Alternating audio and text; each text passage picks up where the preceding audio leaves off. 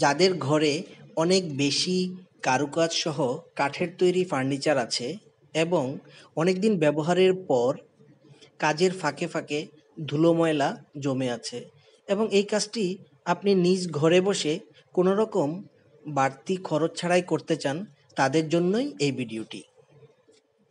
চেয়ারটি একটু ভালোভাবে খেয়াল করলে আপনারা দেখতে পাবেন, চেয়ারের কারুকাজের ভিতর ধুলো জমে আছে। সাধারণত এই ধরনের জমে থাকা ময়লা পরিষ্কার করা অনেক কঠিন হয়ে দাঁড়ায়। খাটটিকে একটু জুম করলে আপনারা দেখতে পাবেন, খাটের ক্ষেত্রে একইভাবে কিছু ময়লা ভিতরে কারুকাজের ফাঁকে ফাঁকে জমে আছে।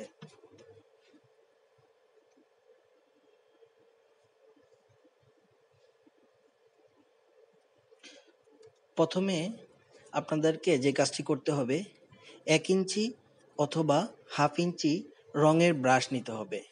এই রঙের ব্রাশ দিয়ে প্রথমে আটকে থাকা ময়লাগুলো যতটুকু সম্ভব ভালোভাবে পরিষ্কার করে নেবেন। এভাবে তিরিশ থেকে চল্লিশ পার্সেন্ট ময়লা রঙের ব্রাশ দিয়ে উঠানো সম্ভব। তারপর বাকি ময়লাটা একটি সুব্রাশ দিয়ে পরিষ্কার করার চেষ্টা করুন।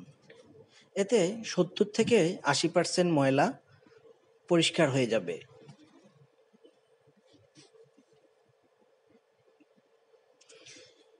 এই কাজটি একটু ভালোভাবে যত্ন সহকারে করুন। সহজ উপায়ে যে কোনো কাজ করার ভিডিও পেতে আমাদের চ্যানেলটি সাবস্ক্রাইব করুন। তারপর ঘরে ব্যবহৃত যে কোনো ব্র্যান্ডের নারকেল তেল ব্রাশে নিয়ে আবার ময়লাগুলো পরিষ্কার করার চেষ্টা করুন। এই নারিকেল তেল দিয়ে আপনি নব্বই থেকে একশো পার্সেন্ট ময়লা পরিষ্কার করতে পারবেন। এই কাজটার উপর নির্ভর করবে আপনার ফার্নিচার কতটুকু ঝকঝকে ও পরিষ্কার দেখাবে।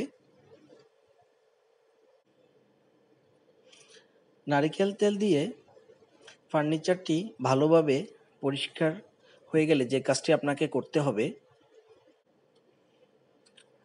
সুব্রাশের উপর একটি পরিষ্কার সুতি কাপড় নিন।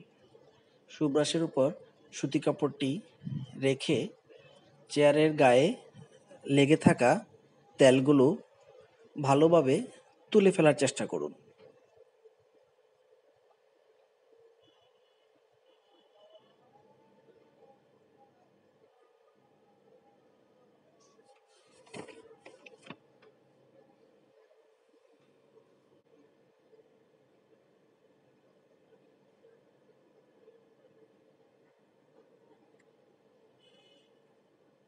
এখন দুটি চেয়ারের মধ্যে পার্থক্য লক্ষ্য করুন।